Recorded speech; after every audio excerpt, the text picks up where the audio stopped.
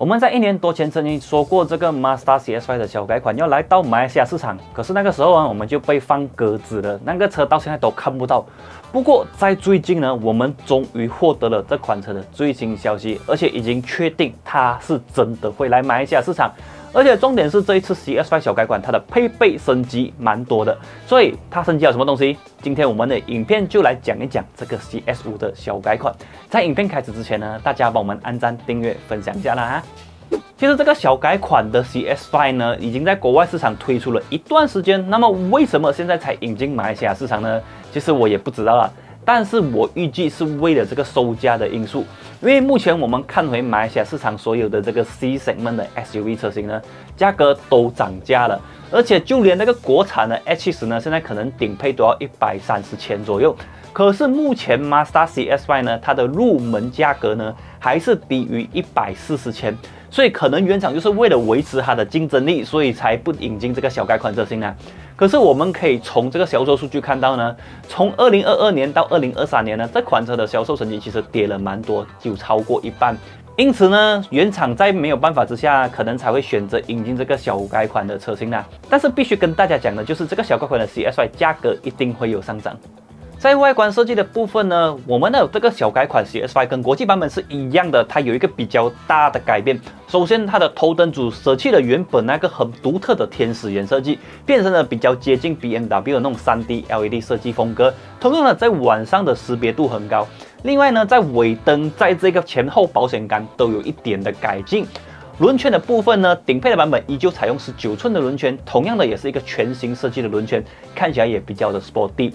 讲真的，其实 CS5 本身就很好看了，所以这样子的小改款放上去呢，让它更加有一点画龙点睛的效果。我觉得就算那么多年的，CS5 还是非常的耐看的。如果赞同我的话，影片下面留言一。在内装设计的部分，基本上的布局跟小改款也是大同小异的，但是配备升级很多。首先，全车系从原本的七寸触屏主机升级到了八寸，但是这个触屏还存不存在，我就不知道啦。但是有一点大家应该会很开心，就是这个八寸的主机呢，它支援了无线的 Apple CarPlay，当然 Android Auto 也是有的。无线咖啡就代表着你解放了双手。不过在最入门的二点零版本呢，它还是采用一个传统的指针仪表。如果你要这个半数位化仪表的话，你就要买到二点零的 High 才会有。然后另外一个重点就是呢，iAssist 先进主动安全配备，从二点零 High 开始就是全车系的标准配备。这些功能包括了什么呢？包括这个转向辅助灯、远近光灯自动调节、车道维持系统、车道偏移警示、自动紧急刹车、前方撞击预警、路标显示功能，还有一个重点就是 MRCC。你没有听错，就是这个 MRCC 终于出现在 Mazda 的 CS5 上面了。我相信有很多的朋友期待这个功能很久了，现在 Mazda 终于让它加入到这个 CS5 上面。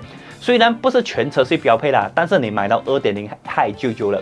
剩下的功能呢，就是跟国外版本差不多一样啦。例如讲，还有这个 QI 的无线手机充电基座，然后还有一个重点就是这一次呢，新车加入了这个 Mazda 的 MI Drive 马自达智能驾驶辅助系统，也就是讲它支援这个驾驶模式切换。因为在一些情况下，它可以通过这个驾驶模式来切换你的扭力分配，给到你更好的循迹性。例如讲，可能今天你真的有点户外活动，你要去 off 的话，你的车辆支持这个全轮驱动系统，它可以通过改变这个扭矩，给你一个比较好的越野性能。当然，在道路上面的话，它也可以给你一个更好的加速表现。这个升级是这一次 Mazda CX-5 改款的最大重点啦。我个人觉得这个功能很赞，你是不是也这样子觉得？在引擎的部分呢，它基本上跟现在的配置是一模一样的，也就是二点零公升的自然进气引擎，二点五公升的自然进气引擎，二点二公升的柴油双涡轮增压引擎，还有二点五公升的涡轮增压引擎。当然啦，这个柴油引擎跟涡轮引擎都是顶配的车型才有啦。其中我个人最推荐的其实是这个二点二公升的柴油涡轮增压引擎啦，因为从这个 CS5 发布到现在，我开过很多次了，尤其是这个柴油的版本，让我真的是印象深刻。动力表现很出色之余，你几乎感受不到 turbo 类，而且它也不会像一般的柴油引擎这样子，到了一定的转速之后，这个车会软车，没有动力。这个引擎的表现真的很爽，重点是 SUV 配柴油，它也可以给你很好很好的油耗表现。我曾经试过这个 CS 柴油版本呢，来回交后五百二十公里，而且这个油呢还剩下三分一，所以你就可以看出这个柴油是多么的省油啦。目前马来西亚市场呢，十万块以上的车子基本上是 SUV 称王。虽然 C 7的 XUV 市场并不像 B 7 SUV 那么竞争激烈，但是其实呢，这个 CS5 要竞争的对手也是不少，其中就包括了很多来自中国的品牌，例如讲这个 GAC，例如讲这个奇瑞，另外国产品牌也有 H70 Face 等着它。重点是它的最强对手 CRV 大改款也即将发布。所以未来这个 CS5 会有什么重点去跟这些对手迎战呢？其实还是价格了。虽然我前面有讲到这个 CS5 的价格会有调整，但是它的入门价格依旧是从十四万起跳，也就是讲你十四万就可以买到 C 7的 SUV 啊。其实这个价钱还是很大一下。如果是顶级版本的这个二点五公升涡轮增压引擎加 All-Wheel Drive 呢，它的价格预计会低于二十万令吉。